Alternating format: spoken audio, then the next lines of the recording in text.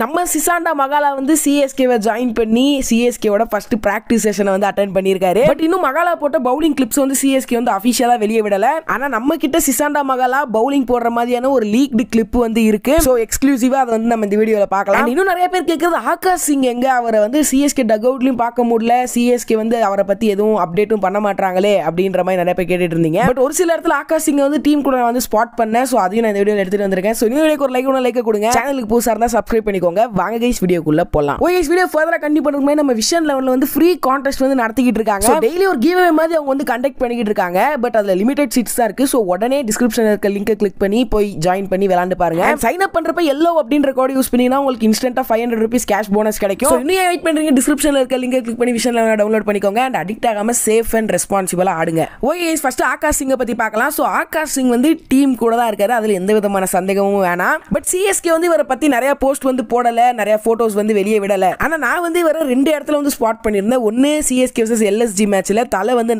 நடந்து வருவார்ல டக் அவுட்ல இருந்து. ஸோ அப்போ வந்து ஒரு இடத்துல ஸ்பாட் பண்ணேன். ஸோ நீங்க அங்க பார்க்கலாம்னு நினைக்கிறேன். தலைக்கு ரைட் சைடில் வந்து அங்க உட்காந்துட்டு இருக்காருல. ஸோ அவர் தான்.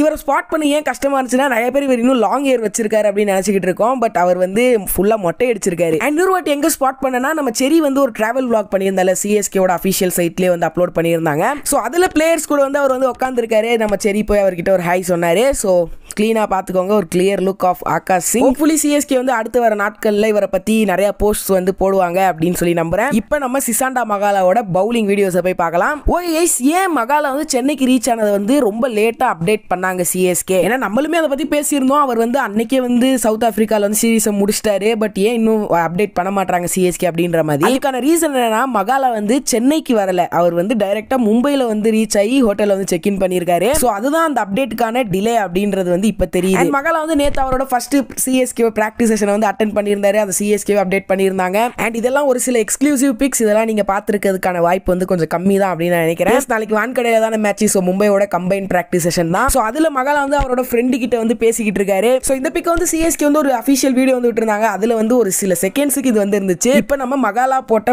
பவுலிங் வீடியோ போய் பார்க்கலாம். அந்த லீக்டு வீடியோ போய் பார்க்கலாம்.